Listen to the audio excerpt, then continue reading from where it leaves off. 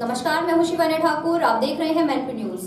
संयुक्त संघर्ष संचालन समिति द्वारा पूर्व घोषित कार्यक्रम के अनुसार जेल भरो पखवाड़ा के तहत लगातार किए जा रहे आंदोलन को लेकर ब्लॉक सुल्तानगंज एवं बरनाहल के सैकड़ों शिक्षकों ने जुलूस निकालकर जेल भरने को हुंकार भरी। देखिए हमारे संवाददाता अभिषेक चौबे की रिपोर्ट।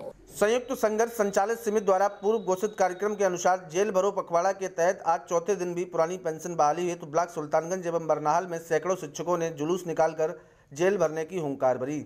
उसके उपरांत कलेक्ट्रेट पहुंचकर उप जिलाधिकारी भोगांव को गिरफ्तारी देने वाली सूची सौंप कर जमकर नारेबाजी की। शिक्षकों की भारी संख्या को देखकर कलेक्ट्रेट छावनी बन गया।